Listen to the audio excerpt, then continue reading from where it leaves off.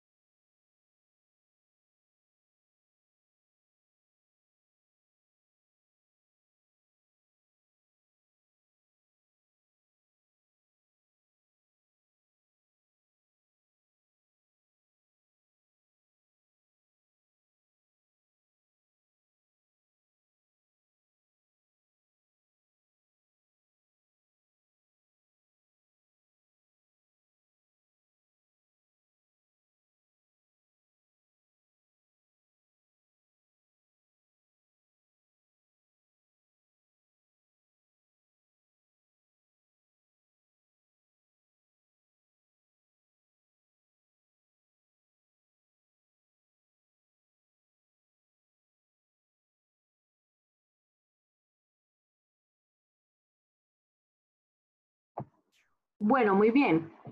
Eh, por favor, levante la mano quienes trajeron noticia para hoy.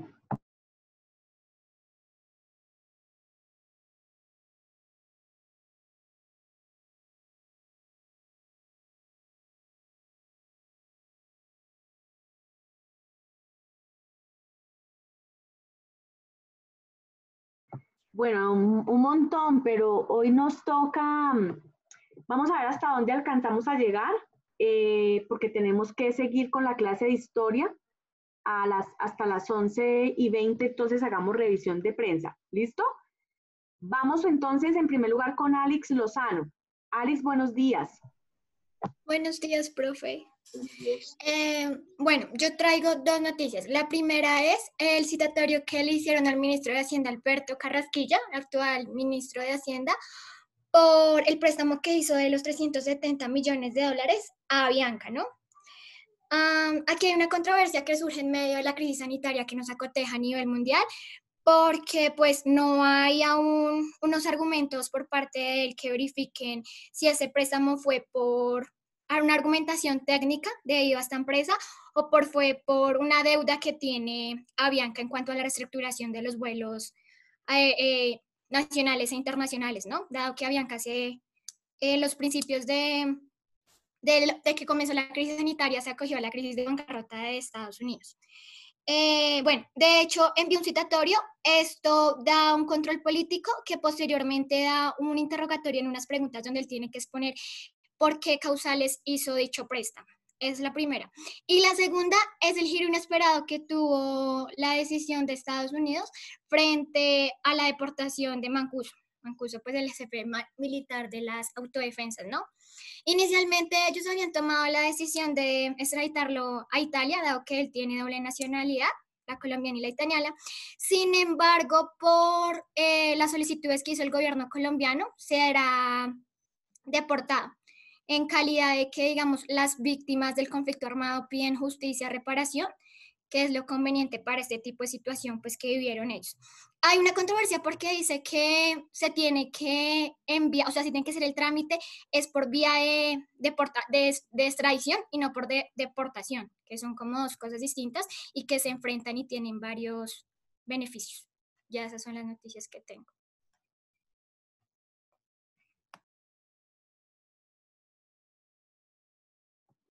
Muy bien, Alex, muy bien. Em, efectivamente, esas son las, dos noticias mm, predominantes o, como que más llaman la atención en el contexto nacional. Eh, efectivamente, el ministro de Hacienda va a ser llamado a, a, control político en el Congreso. Recordemos que el Congreso tiene esa función de eh, hacer control político a los ministros y muchas veces si ellos consideran eh, moción de censura, es decir, mm, son retirados los ministros de sus cargos eh, por mm, el voto de los, del Congreso en, casi que en pleno o por lo menos la mayoría absoluta. Mm, eh, se ha criticado mucho la decisión, entiendo, por, por el tema de que por qué se le presta a Bianca, que quién, quién garantiza que los recursos efectivamente sean después devueltos al, al, patrimonio mm, público, al, patrimonio estatal. Mm, y bueno, surgen una cantidad de em, pugnas ideológicas alrededor de esa decisión. Al igual que lo de Mancuso, que eh, tampoco quiere, se quiere que se extradite a Italia porque finalmente cometió delitos en Colombia y en Estados Unidos con el tema del narcotráfico. Mm, y la idea es que pueda reparar a sus víctimas por lo menos con la confesión. Entonces, mm, lo que uno no sabe es hasta dónde es prudente que traigan al, a Mancuso a Colombia eh, cuando pues le pueden dar un montón de años de, eh, es más, aminorar la pena, eso es lo que quiero decir, aminorar la pena eh, y pues que termine con casa por cárcel, pero pues también las víctimas tienen derecho a saber la verdad eh, no se sabe si es que esas sesiones así mm, por Skype o por todas estas plataformas no han sido eh, efectivas. El hecho es que mm, así es, está, está detenida la extradición a Italia y el mismo gobierno de Trump está también eh, detrás de que no se extradite a Estados Unidos, vea, a Italia este señor que tiene doble nacionalidad. Gracias, Alice. Vamos con Camila Díaz. Buenos días, profe. ¿Me escuchan bien? Sí, bien. Eh, pues mi noticia sobre el glifosato y sobre lo que dijo el ministro de Defensa sobre eso, pues según él dice que esta práctica podría tener un resultado efectivo para enfrentar las masacres. Frente a esto, los líderes campesinos dicen que es difícil llegar a un acuerdo con el gobierno, pues porque dicen que no hay voluntad de diálogo sobre este y que las bases del, eh, del acuerdo de paz siguen igual.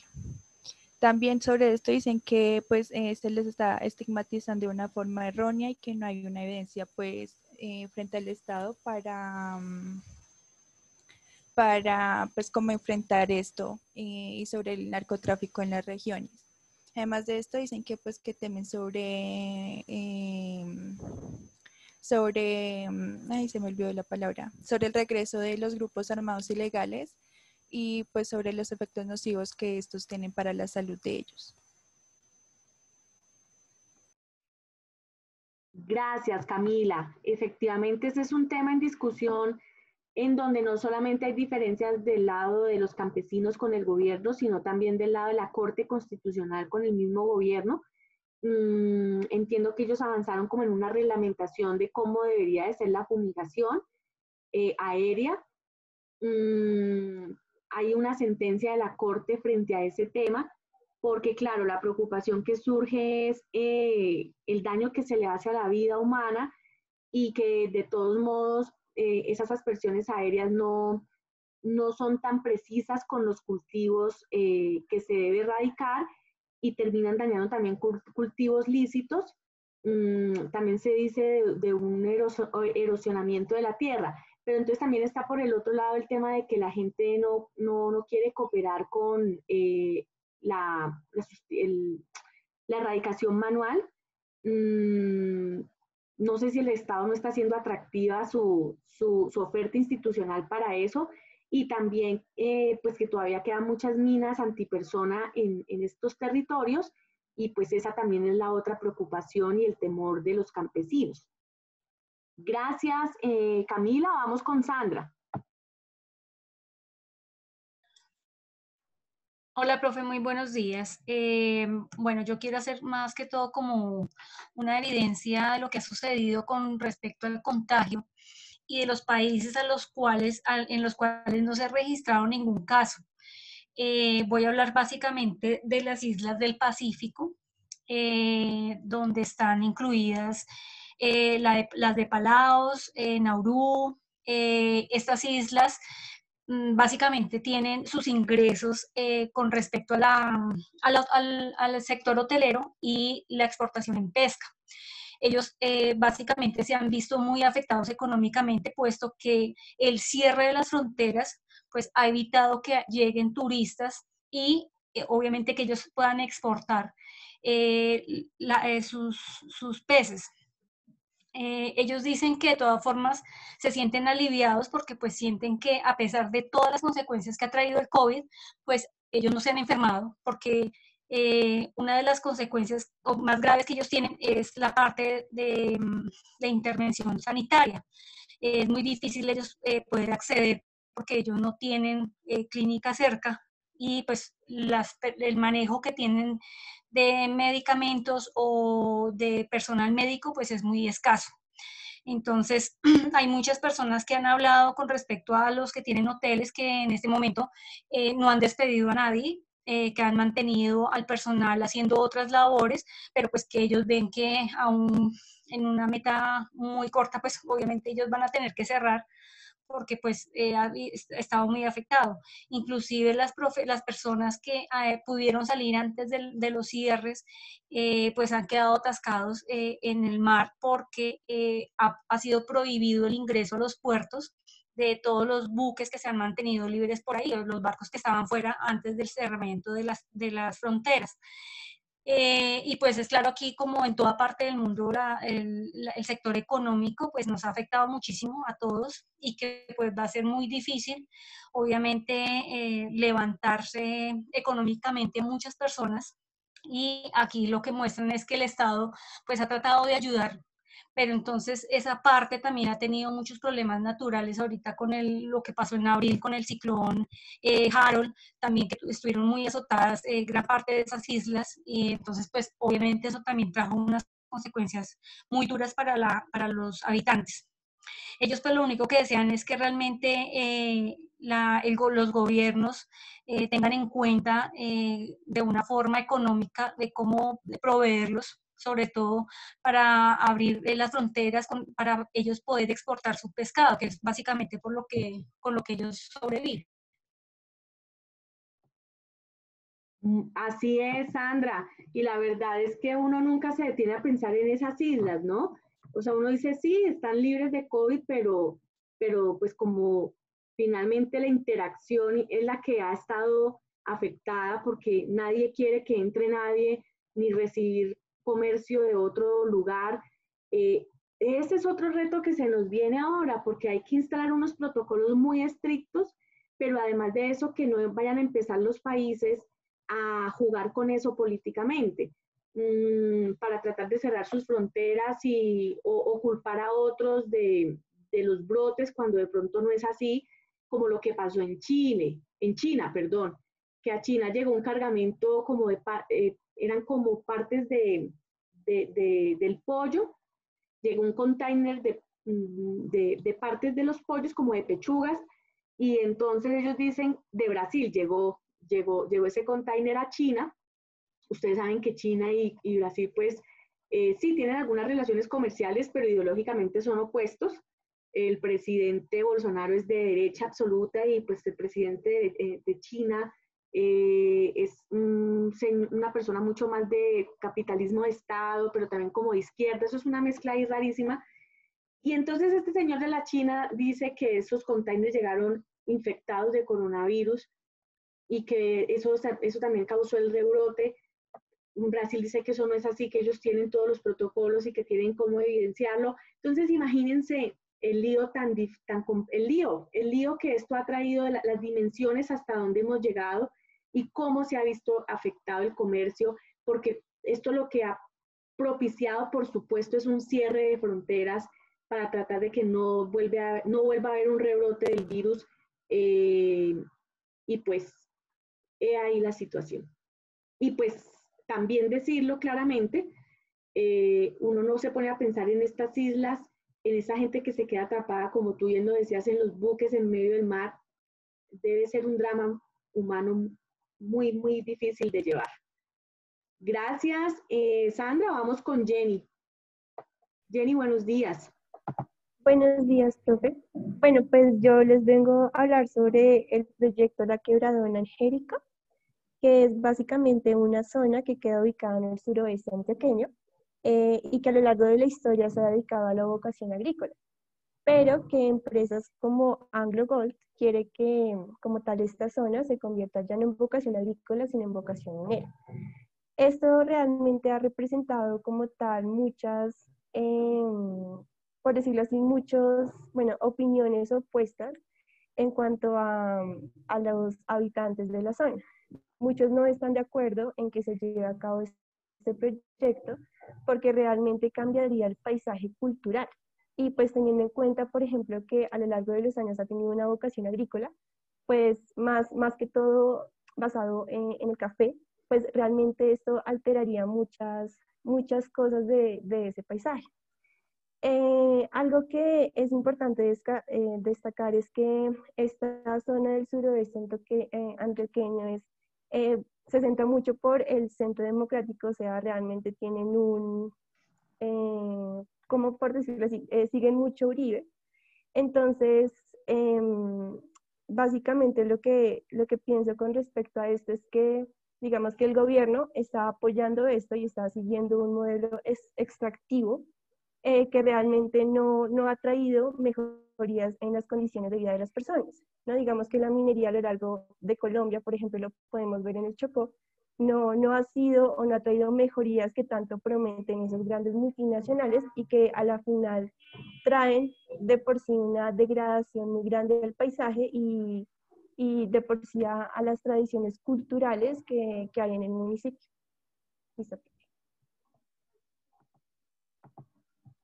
Muchas gracias a Jenny. Importante noticia.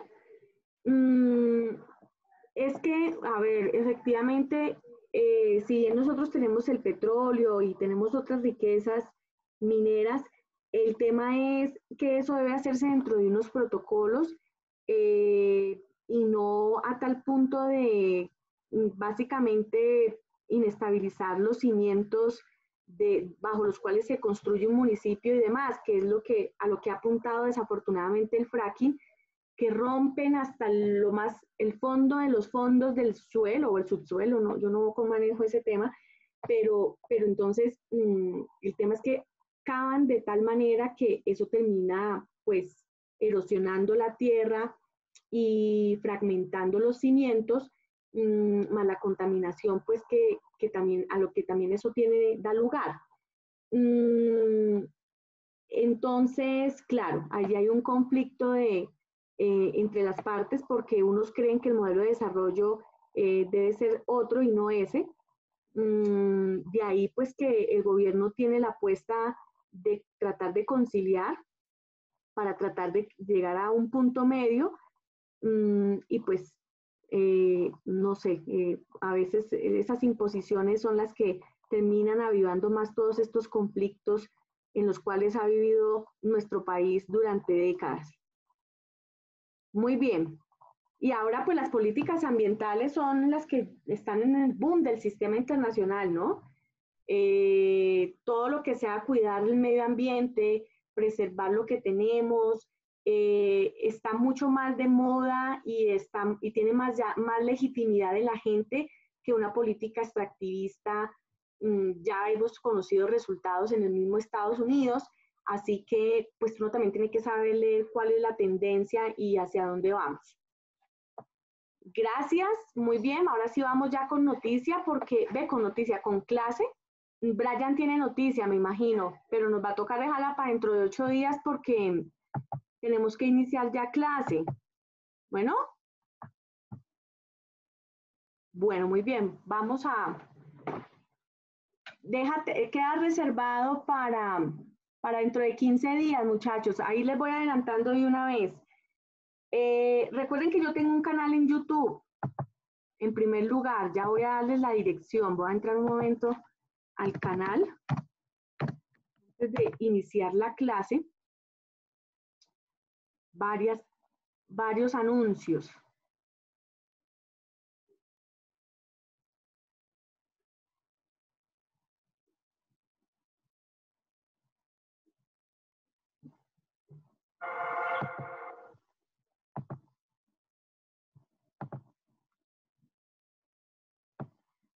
Muchachos, me permito adjuntarles en el chat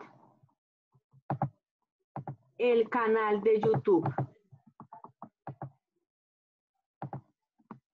Ahí están todas las clases grabadas para que por favor las consulten, repasen y demás.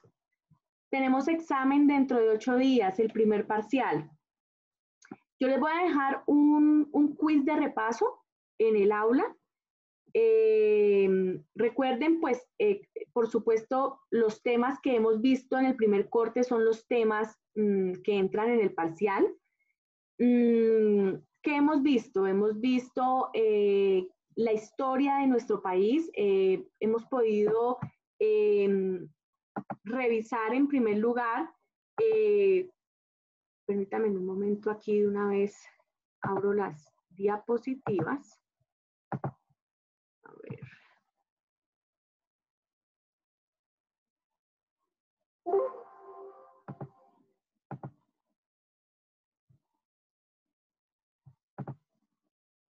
Ok, bueno.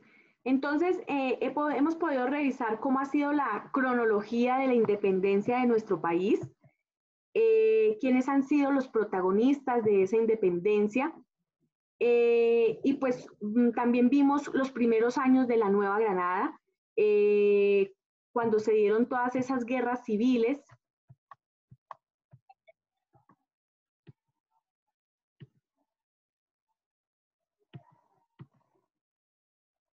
cuando se dieron todas esas guerras civiles em, y cómo en medio de esas guerras civiles tuvieron origen los dos partidos tradicionales en nuestro país.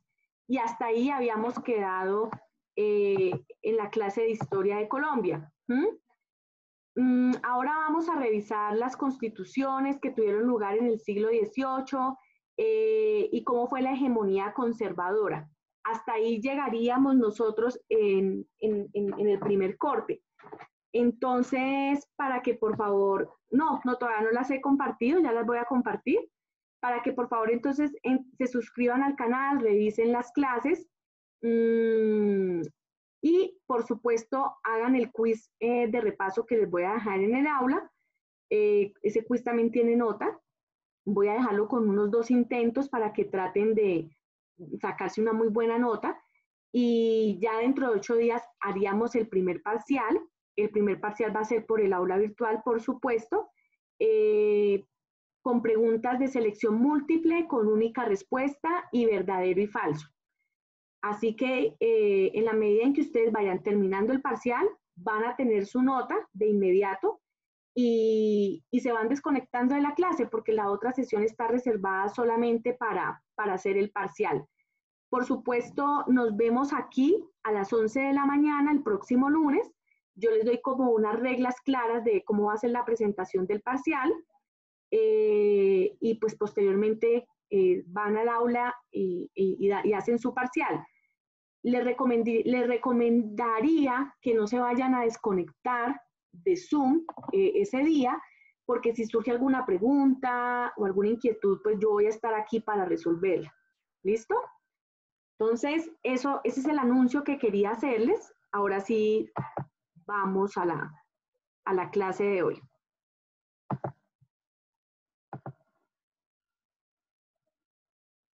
Listo. Ahí están viendo las diapositivas, muchachos.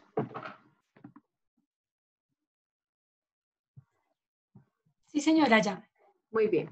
Ok. Bueno, entonces, hace ocho días habíamos alcanzado a ver eh, las ideologías de los dos partidos.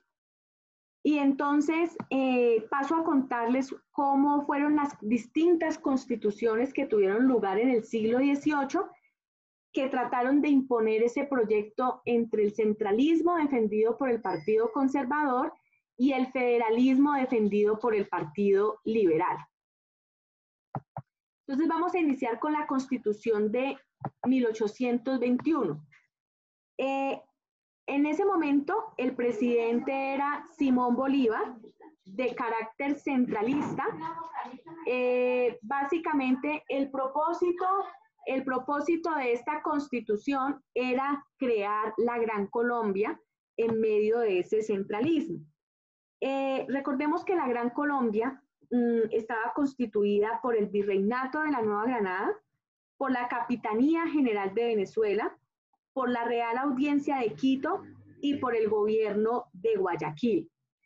Eh, recordemos el centralismo abogaba por porque el poder político económico y planificador estuviese siempre en manos del presidente de la República. Posteriormente tenemos la constitución de 1832, una constitución eh, que mm, es presidida por el, el, general José María Obando, caucano, mm, de pensamiento federalista, quien luchaba por mayor autonomía de las provincias, que ahora son departamentos. Básicamente esa constitución aboga por una separación de poderes públicos, aboga por una libertad de la prensa y por, y por darle mayor importancia a las provincias. Es una constitución que ya empieza a hablar de que, de que debe haber un régimen, tres ramas del poder la rama ejecutiva, la rama legislativa y la rama judicial. Eh, la libertad de prensa como evidencia de que había que defender la libertad de pensamiento dentro de la Nueva Granada y las provincias dándose sus propios gobiernos de acuerdo a sus realidades. Luego viene la Constitución de 1843. Eh, el presidente es el conservador Pedro Alcántara Herrán de corte centralista. Eh, básicamente, el propósito de esa constitución era ampliar el poder presidencial, es decir, que el presidente de la República eh, tuviera como concentrados todos los, todas las decisiones relevantes en el país, sobre todo en el tema de poder mm, designar desde Bogotá los, eh, eh, los gobernadores y alcaldes en, su momento mm, que debían regir las provincias. Entonces, eh, tenía un amplio poder político. Y en esta constitución también se limita la participación electoral. Es decir, no todos pueden votar, no hay sufragio universal. Eh, se tienen que cumplir dos requisitos para poder participar en la vida electoral del país haber cumplido 25 años de edad y también el otro requisito era saber leer y escribir. Eh, esa fue ese fue un requisito muy cuestionado por los liberales porque decían que entonces em, la elección de los gobernantes estaba en manos de la clase alta, de, la clase alta en ese momento de la, de la Nueva Granada, y que em, efectivamente pues eh, eso no era democracia, y que si ese iba a ser el requisito, entonces que se ampliara el derecho a la educación. Luego viene la Constitución de 1853. Esa constitución es de corte liberal. Su presidente es el general José Hilario López Caucano también. Mm, y como veníamos en esos ires y venires del centralismo al federalismo y viceversa, entonces, como que cuando llegaban los gobiernos liberales trataban de ir recuperando las libertades que ellos consideraban y asimismo el Partido Conservador. En esta constitución, otra vez, eh, el propósito fundamental era la libertad de enseñanza, es decir, una, una educación que fuera más laica, que no estuviera regida por el catolicismo. Eh, de ahí que ellos abogaban por una separación entre la iglesia y el Estado y por ende entre la iglesia y la educación. Eh, también una el propósito de esta constitución era afianzar la libertad de pensamiento. Mm, había una multiplicidad de ideologías, como siempre, y entonces todos tenían el derecho a expresarlas. Y eh, propugnaba por un mayor federalismo, por una mayor descentralización, por una mayor autodeterminación de los pueblos. Luego viene la constitución de 1858, de carácter conservador. El presidente en ese momento era Mariano Espina Rodríguez, em, uno de los ideólogos del Partido Conservador. Eh, y el propósito de esta constitución era reglamentar la confederación granadina, pasamos a una confederación bajo los principios centralistas. ¿Quiénes hacían parte de la confederación granadina? Estaban los departamentos de Antioquia, Bolívar, Cauca, Boyacá, Cundinamarca, Magdalena y Santander y también hacía parte de la Confederación Granadina Panamá, la cual perdemos eh, en 1903-1904, eso lo vamos a ver más adelante. Luego viene la Constitución de 1863, liberal, federalista. Eh, su presidente, el general Tomás Cipriano de Mosquera, caucano, a quien le llamaban eh, comúnmente mascachochas. Y básicamente este señor eh, vuelve a hacer un, afianzamiento del federalismo, eh, una descentralización política y administrativa. Mm, y bueno, ya con todo lo que les he dicho de cuáles son las ventajas de ser más descentralizados que centralizados el país es distinto y se hacía necesario eh, gobernarlo con esas distintas realidades y con mandatarios que, que fuesen parte de esas distintas realidades. Y finalmente tenemos la constitución del 86, eh, antes de la del 91. Es una constitución mm, denominada la constitución de la regeneración, Inclusive el gobierno de Rafael Núñez, quien era el presidente en ese momento, eh, su periodo como presidente es conocido como el periodo de la regeneración, conservador, eh, y la idea era, em, o, él decía que ese era el periodo de la regeneración, porque pues eh, se venían con unas conquistas, de unas conquistas en derechos y en libertades que pues ellos eh, no, no le imaginaban en ese momento o no estaban de acuerdo con, con esas conquistas. Entonces, en primer lugar, se vuelve a recuperar el privilegio del clero. El clero vuelve a tener una estrecha relación con el Estado. Mm, recordemos que en ese proyecto evangelizador español, eh, el catolicismo se pretendía que fuera la religión oficial de la sociedad. Mm, entonces, vuelve a existir esa estrecha relación entre el Estado y la religión inclusive el clero empieza a administrar bienes públicos. Sus críticos le llamaban a eso eh, la administración de bienes en manos muertas. Se empieza a restringir la libertad de prensa porque lo que decía en ese momento Rafael Núñez es que mm, quien estuviera en contra del gobierno, pues no podía indiscutiblemente eh, mm, tener vigencia dentro de los medios de comunicación porque no se podía permitir una desestabilización del país. Propugnada por un Estado centralista eh, y en ese momento, en esa constitución, los estados pasaron a ser departamentos. Ya no eran provincias, sino departamentos y ya vamos a ver más adelante cómo eh, se logra la elección popular de alcaldes y gobernadores antes designados por el presidente de la República. También se establece la pena de muerte para aquellos delitos que vayan contra la nación, es decir, para aquellos delitos que vayan contra, que, vayan contra el patrimonio de, del Estado, eh, para quienes en últimas eh, se roben el patrimonio público.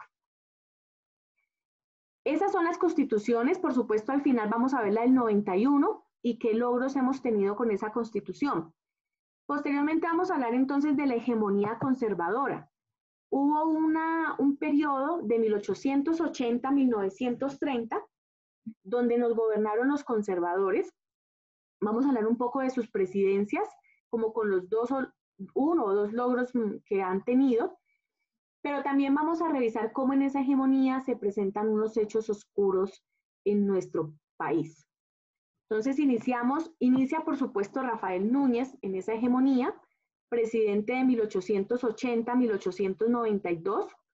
Eh, ya les conté, pues lideró el periodo conocido como la regeneración y su mayor logro fue la expedición de la Constitución del 86, donde recordemos esa Constitución eh, reconoce solo a Dios como fuente principal de la misma, única fuente de la Constitución. Luego viene Carlos Holguín Mayarino, entre el año 1888-1892. Básicamente, en este periodo, eh, Carlos Holguín Mayarino mejora la navegación por el río Magdalena. Se considera que efectivamente, eh, o es decir, el río Magdalena se convierte en la principal ruta o una de las principales rutas comerciales de nuestro país eh, y en una puerta de entrada eh, de otros países y también una vitrina para mostrarse internacionalmente como país. Luego viene Miguel Antonio Caro, presidente de 1892 a 1898. Eh, básicamente este señor, mm, Miguel Antonio Caro fue uno de los ideólogos radicales del Partido Conservador, ayudó a redactar el el himno del partido, inclusive. Y entonces, eh, por ser tan radical, eh, tanto así que ayuda a profundizar mucho más la constitución del 86, eh, empieza a tener oposición del Partido Liberal y, y también de, al interior del mismo Partido Conservador. es curioso decirlo, pero dentro del mismo Partido Conservador empiezan a surgir otras facciones mucho más moderadas eh, y moderadas en el sentido de que ellos consideraban que habían derechos que sí debían eh, defenderse y que la gente tenía que tenerlos. Eh, por ejemplo, el derecho a la educación pública, que hubiese libertad de expresión, que esa relación entre el, entre el Estado y la Iglesia fuera una relación mucho más moderada y más funcional, más no dominante. Y entonces eh, estos moderados del Partido Conservador empiezan también a hacerle oposición a Miguel Antonio Caro junto con la oposición liberal. Básicamente el de se dedicó fue como a defenderse de esas dos oposiciones. Luego viene Manuel Antonio San Clemente, de 1898 a 1900. A este señor le dura el periodo de dos años porque mm, le estalló la guerra de los mil días, la guerra civil más larga que ha vivido este país entre conservadores y liberales, eh, como él representaba un sector que protagonizaba la guerra de los mil días, no tuvo la objetividad o, por lo menos la mesura o la ponderación, por decirlo así, para darle un manejo al orden público que estaba viviendo en ese momento nuestro país. Eh, todo lo contrario, eh, él representaba un, sector que polarizaba más el país y entonces eh, pues no logra darle un manejo a la guerra de los mil días, no le lograr un manejo desde el orden público como máxima autoridad, eh, como máximo comandante, digámoslo, de las fuerzas militares. Y entonces es ahí cuando lo derroca eh, Manuel Marroquín. Manuel Marroquín entonces asume el poder, asume el poder entre 1900 y 1904 eh, él logró afrontar con mayor moderación la guerra de los mil días, mm, le, logra dar un cierto manejo, por decirlo así, pero entonces eh, él por estar en eso, desafortunadamente, pues le estalla eh, la pérdida del canal de Panamá. Y aquí quiero centrarme, quiero centrarme como estábamos tan concentrados en, o el gobierno estaba tan concentrado en, en, mitigar la guerra de los mil días, descuidó Panamá. Mm, y la oligarquía panameña, la oligarquía comercial panameña leyó eso muy bien y entonces es cuando empiezan a presionar para que Panamá se independice de nuestro país. La oligarquía comercial panameña empieza a argumentar que, eh, que no es posible ser parte de Colombia porque nosotros estamos imbuidos en unos conflictos políticos enormes. Eh, en ese conflicto entre liberales y conservadores, en ese conflicto económico entre que unos propugnan por un libre cambio y otros por el proteccionismo. Unos están de acuerdo en que se abran las fronteras y otros en que se cierren. Eh, en ese conflicto administrativo entre federalismo y centralismo, entonces ellos dicen, no, eh, esto es un tema de, hay una inseguridad jurídica tremenda, eh, llega un gobierno y cambia las reglas de juego, y entonces es mejor irnos de acá, además que nos tienen abandonados. Entonces, pues, eh, en primer lugar, esa es como una de las causas. La otra causa es que Estados Unidos aprovecha ese momento de, debilidad, ese momento de, de conflicto interno, y ellos sí ven, mm, por supuesto, la importancia geopolítica del canal de Panamá y la importancia comercial del canal porque pues se podía construir un ferrocarril que efectivamente eh, terminara, mm, terminara comunicando a la costa atlántica y a la costa pacífica rápidamente. Entonces ellos en sus ánimos expansionistas, en esa lógica de, expandir el desarrollo capitalista, pues eh, los ojos en el canal de Panamá. El canal venía eh, siendo, había iniciado la construcción una empresa panameña, eh, francesa, perdón, pero esa compañía entró en crisis en 1896. Entonces, pues con esa crisis no tuvo capacidad de terminar el canal. Ellos deciden acudir a, Estados Unidos a un señor eh, empresario eh, de apellido Cromwell. Eh, lo convencen de que el gobierno norteamericano o su clase em, económica, financiera, les compre la compañía, porque ellos ya no podían seguir Cromwell inicia todo un plan de americanización del canal, se reúne con un grupo de notables empresarios, banqueros, industriales, entre ellos el banquero Morgan, y es así como el 27 de diciembre de 1899, Cromwell funda eh, la Compañía eh, de, de América, Company of America, quien termina construyendo el canal de Panamá. Eh, con Colombia, pues se firma el Tratado de RAN-AI, en ese momento con el gobierno de José Manuel Marroquín. En ese tratado básicamente se dice que la soberanía pasa a del canal pasa a manos de Estados Unidos.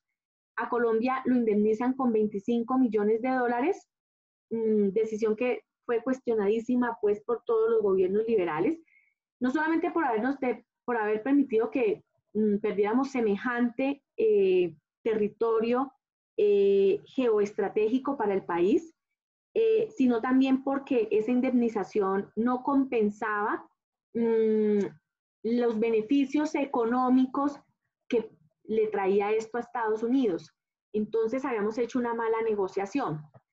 Aquí quiero que veamos eh, un corto, una corta entrevista que le hacen a un historiador, me llama mucho la atención, que habla sobre la pérdida del canal de Panamá y de algunos héroes invisibles que uno solo los puede traer eh, a la memoria con esta clase de, de entrevistas.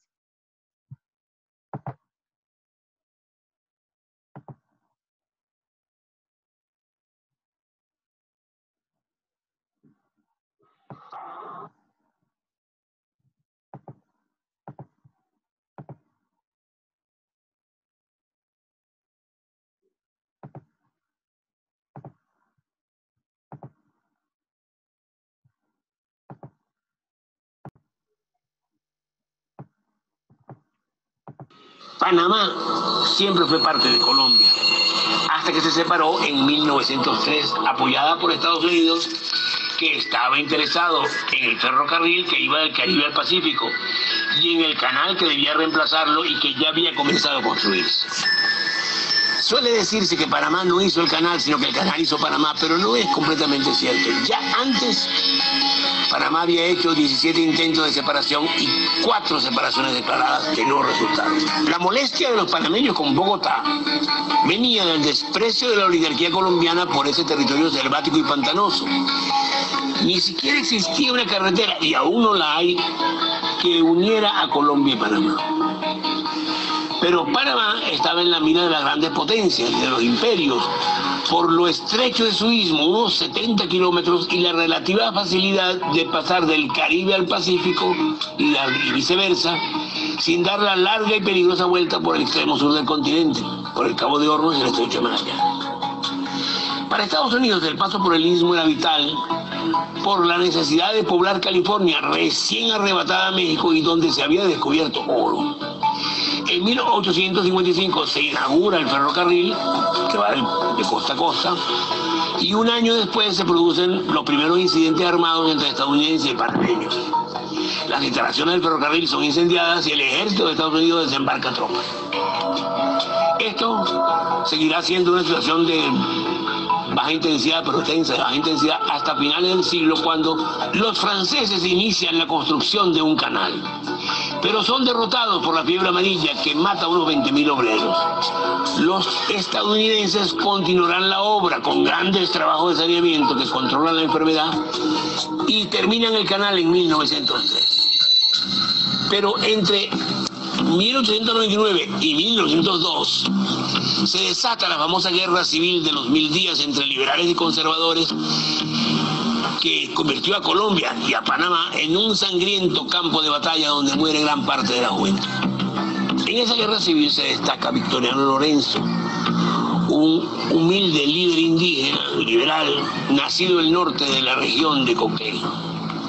Victoriano Lorenzo, un hombre muy humilde, era famoso porque había pasado nueve años preso por matar a un explotador y porque siempre había luchado contra las injusticias de los conservadores. En 1900, luego de la derrota de los liberales en la batalla de Caledonia, Victoriano se vuelve guerrillero en las montañas de Penonomé, en donde derrota y expulsa a los conservadores. En 1901 los generales lo nombran general de división tiene 34 años. Es un caudillo popular, al que siguen los desheredados. Y está convirtiendo la guerra en una revolución que promete la tierra a los campesinos que la regaron con su sangre. Victoriano inspira temor a los ricos, tanto conservadores como liberales. Para septiembre de 1902, las fuerzas populares liberales controlan casi todo el interior del país y avanzan victoriosas sobre las ciudades de Colón y Panamá. Pero entonces, el general liberal colombiano Benjamín Herrera, jefe militar de Lorenzo, recibe un mensaje del cónsul general de Estados Unidos en Panamá, señor Kutcher, donde le advierte que Estados Unidos, cito, no permitiría combates en la ciudad de Panamá o Colón o cerca de la línea ferroviaria entre estas dos ciudades. Y así, los dos bandos, temerosos de una intervención militar gringa, acuerdan firmar la paz, como en efecto la firman el 21 de noviembre de 1902 a bordo del barco de guerra estadounidense USS Wisconsin. Pero quedaba el problema de Victoriano, Victoriano Lorenzo, y su revolución. Y los firmantes sabían que Lorenzo no aceptaría el pacto de Wisconsin, por lo que actuaron rápidamente. Apenas siete días después de la firma, lo detienen y lo envían preso a la ciudad de Panamá. Victoriano se fuga en Nochebuena, pero es recapturado. Pasará seis meses en la cárcel, mientras liberales y conservadores se dedican a neutralizar a sus seguidores. Finalmente, el 14 de mayo de 1903, se celebra una pantomima de consejo de guerra. Y el 15 de mayo, a las 8 y media de la mañana, lo sentencian a muerte y a las 5 de la tarde lo fusilan en la Plaza Chiriquí, hoy Plaza Francia de la ciudad de Panamá. Sus últimas palabras fueron, señores, oído una palabra pública, ya sabéis de quién es la palabra, Victoriano Lorenzo muere, a todos los perdono, yo muero como Jesucristo. Separada finalmente de Colombia, la nueva República de Panamá tendrá a su cabeza dos conservadores. Como presidente a Manuel Amador Guerrero, médico del ferrocarril norteamericano, y como jefe militar al general Esteban Huertas, viejo matapueblo conservador, perseguidor de los liberales. Panamá y su canal seguirán bajo el dominio de los Estados Unidos, luchando por su soberanía hasta 1970, cuando el general Torrijos firma con el presidente Carter el tratado que marca el fin de la ocupación militar estadounidense de la zona del canal. Y será este mismo Torrijos quien rescate la figura de Victoriano Lorenzo como héroe del pueblo panameño. La vida, pasión y muerte de Victoriano Lorenzo nos enseña que los héroes populares, más temprano que tarde, escapan del olvido y reciben el honor y gloria que merecen. Para Panamá, para la patria grande y para el mundo, Victoriano Lorenzo nunca volverá a ser un misterio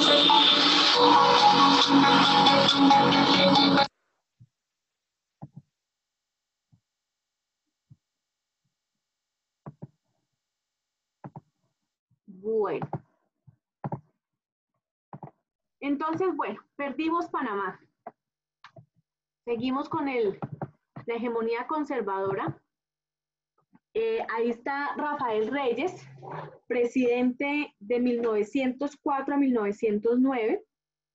Rafael Reyes cierra el Congreso eh, porque lo considera un Congreso totalmente opuesto a su gobierno.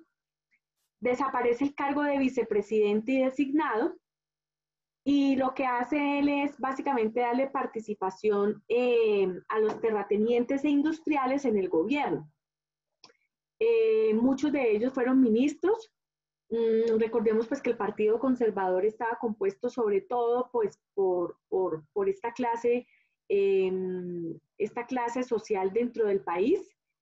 Mm, además el partido pues defiende la propiedad privada, defiende los grandes latifundios, defiende em, pues, eh, a que la gente tenga sus grandes feudos, sean o no productivos, finalmente son suyos. Y, y los grandes industriales, claro, el Partido Conservador sí es eh, promotor de una, un desarrollo más basado en la industrialización. De ahí pues que haya una coincidencia ideológica y participen en el gobierno. Luego viene Carlos Eugenio Restrepo de 1910 a 1914. Mm, hay una austeridad aquí en el gasto público, eh, pero eh, hay un, también una mejoría notable en las exportaciones de café. Eh, ellos o este gobierno se centraba mucho en ese monocultivo. Mm, decía que definitivamente Colombia se internacionalizaba por el café y empieza a hablarse también de una entidad nacional, de la necesidad de crear una entidad nacional que se dedicara al comercio y al, comercio del café, a abrir mayor, más mercados y que se dedicara también a mejorar el monocultivo en las zonas rurales del país. Entonces, básicamente, pues ese fue como la característica primordial de este gobierno. Luego viene José Vicente Concha de 1914 a 1918. En su gobierno se establecen los límites con el Ecuador y se inicia la construcción del Capitolio Nacional. Recordemos que el Capitolio Nacional es ese recinto donde sesionan la Cámara y el Senado. Eh, el Capitolio Nacional, eh, ahí tienen lugar las dos mm, sesiones plenarias es decir, cuando se reúnen eh, todas las tardes todo el Senado en pleno y toda la Cámara en pleno para pues dar los debates a los distintos proyectos y actos legislativos y a los debates de control político. Mm, también allí en, el Capitolio, pues eh, en este momento se encuentran las oficinas de los presidentes de la Cámara y del Senado y las unidades administrativas de apoyo a esas dos presidencias. Luego viene el gobierno de Marco Fidel Suárez, un, presidente que es recordado por, por, ¿cómo decirlo? Por, porque viene de un hogar muy, mm, o sea, de una extracción muy humilde, pero, sobre todo eh, pues de, unas enormes mm, ganas de salir adelante, eh, si se puede decir coloquialmente. Eh, Marco Fidel Suárez mm, era hijo de una lavandera y él logra mm, educarse porque siempre no podía ir al colegio porque no tenía cómo hacerlo entonces, lo, que cuenta la historia es que él escuchaba las clases desde las ventanas del colegio y así logró leer y escribir.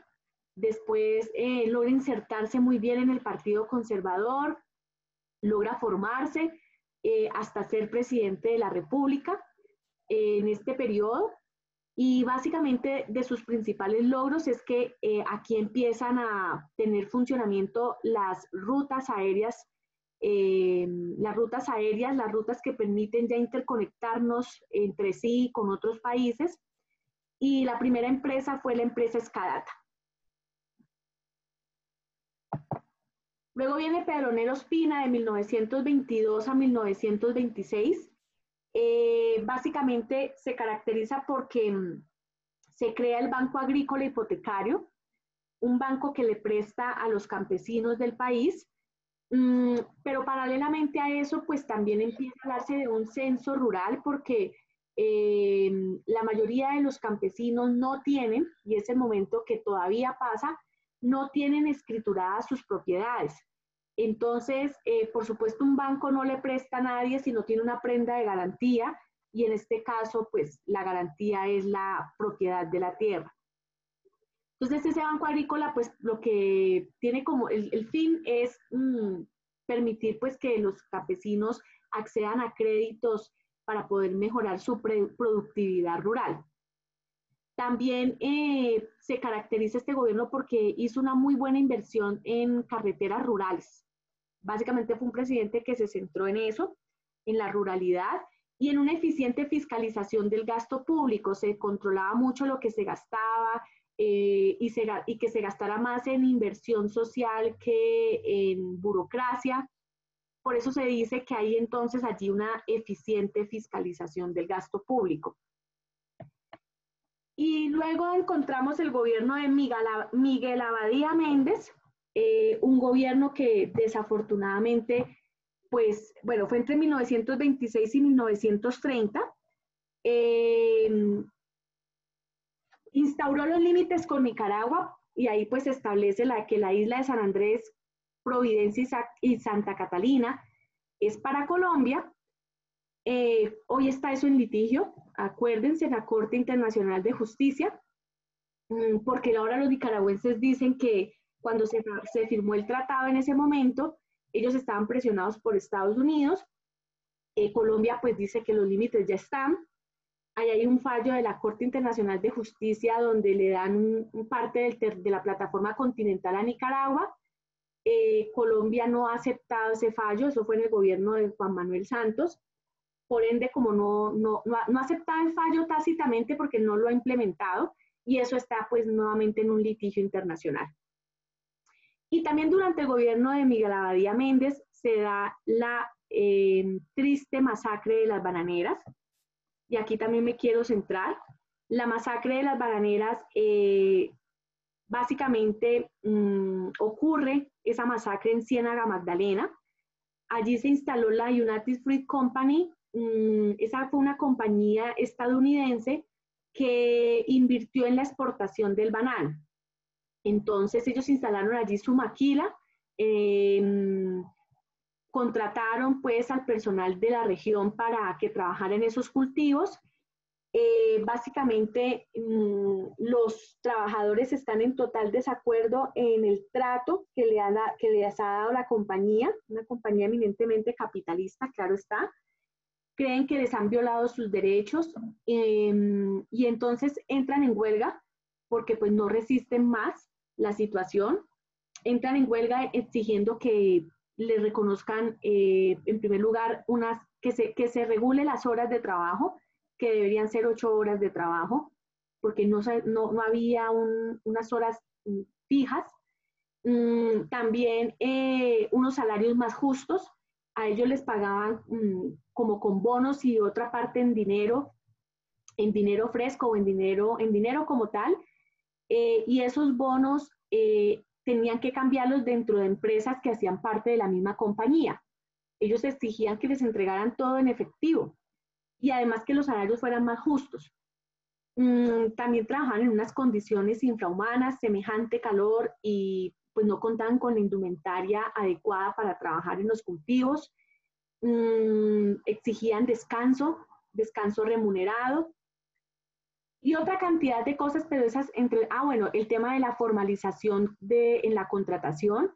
Eh, al parecer no había un contrato directo entre ellos y la, empresa, la United Fruit Company, sino entre ellos y un tercero, y seguramente pues para desconocer eh, prestaciones sociales y demás. Esa es una huelga que dura veintipico de días, eh, noviembre, diciembre. Mm, finalmente eso no se gestiona bien por ninguno de los dos lados. El presidente Miguel Abadía Méndez envía ya al, coronel Cortés, Carlos Cortés, eh, y este señor desafortunadamente irrumpe allá en diciembre, en, cerca del ferrocarril, y lo que hace básicamente es eh, enfrentar esa, esa huelga eh, accionando las armas. Mueren como mil personas. Eh, eso nunca se reconoció. El gobierno hablaba siempre de cuarenta y pico, al igual que este coronel, mm, pero realmente se dice que son como mil personas y por eso es una masacre aunque nomás la muerte de uno ya debe pesarnos, eh, pero es cómo ocurren los hechos y el tema de, esconder las cifras. Aquí también quiero, ya para terminar, compartirles un documental, un especial que hizo Canal Caracol a propósito en ese momento de los 90 años de la masacre. Ya son 92 años de la masacre de las bananeras. Entonces, permítanme, por favor.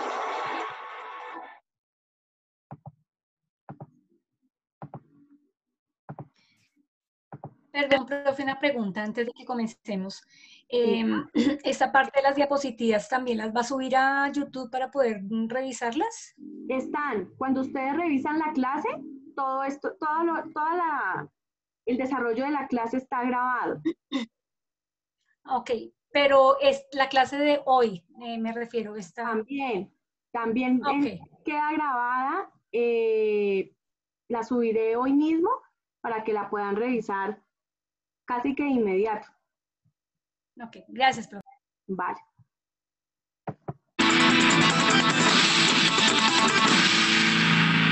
Esta semana se cumplieron 90 años de la masacre de las bananeras que cobró la vida de al menos mil obreros en Ciénaga Magdalena. Viajamos hasta ese lugar para reconstruir lo que ocurrió durante los 24 días de la huelga y la matanza de los trabajadores ese 6 de diciembre de 1928. Informe especial un señor que trabajaba en el ferrocarril me dijo, yo vi un río de sangre que corría por el playón, que vio una masa de muertos que él no podía numerar, no las pudo contar, pero que alrededor de las 8 o 9 de la mañana ya esos muertos habían desaparecido.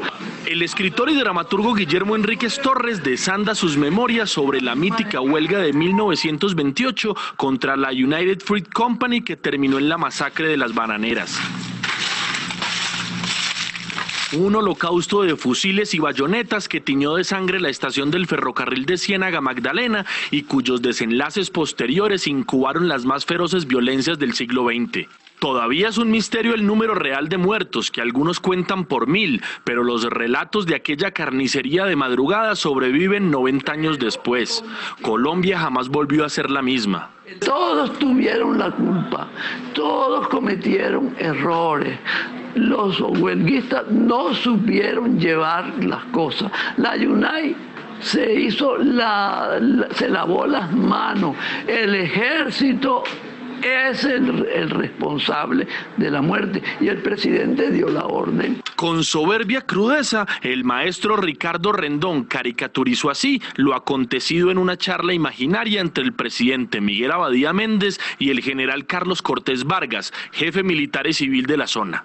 Desde plantaciones como esta salieron los huelguistas que terminaron apostados en la estación del ferrocarril de Ciénaga para reclamar sus derechos. Lo hicieron a partir del 12 de noviembre de 1928 y allí estuvieron hasta el amanecer del 6 de diciembre de ese mismo año, cuando al no poder disipar la huelga, el general Cortés Vargas le dijo a sus hombres, disparen a discreción. La pila de cadáveres fue levantada con urgencia por los militares, pero el destino final de esos cuerpos terminó alimentando leyendas. Se dice que cientos fueron incinerados, otros terminaron en fosas comunes a medio enterrar y algunos más echados al mar. Ahí está, para no ir más lejos, el descarnado testimonio de Agustín Lara, custodio de la memoria oral de Ciénaga. La multitud de muertos y de cadáveres apilados los traían hasta acá y de aquí los se los llevaban. Eh, tal y cual. Lo que cuenta el testigo es que los traían desde la plazoleta de los mártires o antigua estación de ferrocarril donde ocurrió la masacre o la mayor parte de la masacre y desde allá se traían grandes cantidades de cadáveres para ser embarcados en, pequeños botes. La, idea era que pues, una vez cargados en el, en, el, Pichincha poder llevarlos a ultramar y arrojarlos allá para poder borrar evidencias, que era la finalidad del trasteo de muertos, por así decirlo. ¿no? Es decir, aquí se consumó el eh, delito o uno de los mayores delitos del encubrimiento de la masacre de las bananeras. Se dice que fueron más de 300 muertos que por esta vía eh, pudieron deshacerse de ellos arrojándolos al mar. Recorrimos con Agustín los lugares emblemáticos de esa cronología de sangre, el cuartel militar desde el cual impartió instrucciones el general Carlos Cortés Vargas las casas que se erigieron sobre las fosas comunes, las calles que desembocaban en el puerto para llevar los cadáveres a ultramar y la Plaza de los Mártires, con su imponente Prometeo de la Libertad en honor a esos obreros sin nombre y sin tumbas. ¿Cuál fue la génesis de la huelga? Agustín Lara lo resume con una frase rotunda. Mientras aquí se bailaba cumbia, con fajos de billetes prendidos, por simple diversión, por simple demostrar quién tenía más plata que otro. Porque había billetes. En el campo colombiano los trabajadores vivían como cerdos, vivían miserables. El pasado jueves, en medio de la conmemoración de ese crimen, en aquella plaza que 90 años atrás fue Camposanto, una obra de teatro escolar recordó la barbarie. E incluso un niño encarnó el legendario discurso de Jorge Eliezer Gaitán en el Congreso denunciando la masacre. Doctor Gaitán, ¿hasta cuándo nos va a enrostrar la masacre de las bananeras? hasta que dejen de llorar las viudas y los huérfanos. ¿Cuántos murieron ese 6 de diciembre de 1928? El general Cortés Vargas, en su libro Los sucesos de las bananeras, aseguró que las víctimas no pasaron de 47 pero este cable desclasificado multiplicó esa cifra por 20. El periodista y escritor Oscar Alarcón lo dice con claridad meridiana. El único documento que existe es el del embajador de Estados Unidos eh, de la época que le comunica a el gobierno de los Estados Unidos que fueron como mil, dice, no dice una cifra exacta, que le dijo el de la United Fruit Company que fueron como mil los muertos. Al margen de los números, la tumba de los únicos nueve obreros que fueron hallados tras la matanza todavía se conserva en el cementerio de San Rafael en Ciénaga. Fuimos hasta allá con el escritor Guillermo Enríquez. ¿Por qué cree usted que dejaron solo nueve? ¿Era un mensaje? Era un mensaje del general Cortés Vargas a, los obreros. Nueve puntos, no, les dejo nueve muertos. Ellos son el símbolo de ese avance laboral que hay en Colombia, ellos están ahí por eso. Aprovecho ese escenario para preguntarle por qué el Estado jamás pidió perdón por lo ocurrido y Enríquez me suelta lo siguiente. Primero porque está en Ciénaga. Si hubiera estado en otro sitio, de pronto sí se lo hubieran reconocido. Y la otra cosa es que son unos obreros y si hubiera sido la hija de un presidente, ya habría un barrio con ese nombre, ¿no? Como hay en Bogotá, con la hija de un presidente. Eh, eh, ¿Ha sido Colombia una eh, sociedad desmemoriada con estas personas? Y canalla, esa es la palabra. Colombia ha sido canalla. Canalla, es un país de, de dirigentes canallas. Ciénaga no olvida, 90 años después. Muy bien. Entonces, con esto, muchachos, pues terminamos la clase por hoy. Mm, hasta ahí sería el primer parcial. Eh, ahí les dejo entonces mi canal de YouTube. Voy a dejar un quiz de repaso que además sirve como actividad, por supuesto, para este corte. Mm, y eso sería todo. Nos vemos el próximo lunes a las 11 de la mañana antes de iniciar el parcial para comentarles cómo serían las reglas de juego del parcial. No sé si tengan alguna pregunta. Profe, sí, qué pena, una pregunta. ¿El quiz de repaso es para resolverlo hoy mismo? Esta semana. Yo les dejo todo. O en esta semana. ah, ok. Perfecto. Ok, perfecto, profe. Muchas gracias. Profe, qué pena con usted. Una pregunta, no entendí bien qué hay que hacer con el link que envió. Ahí están las eh, clases grabadas todas las clases que hemos tenido para que les sirva como eh, fuente de información y de consulta para prepararse para el parcial. Ah, ok, gracias. Bueno, entonces si no hay más preguntas, nos vemos en ocho días. Eh, cuando ya esté el quiz eh, subido al, al aula, inmediatamente le digo a nuestra monitora para que por favor les comente en el grupo de WhatsApp. Un abrazo para todos. Lo mismo, profe, que tenga buen día. Gracias. Hasta luego, profe, que esté muy bien. Gracias, profe. Profe, muchas gracias. Feliz día.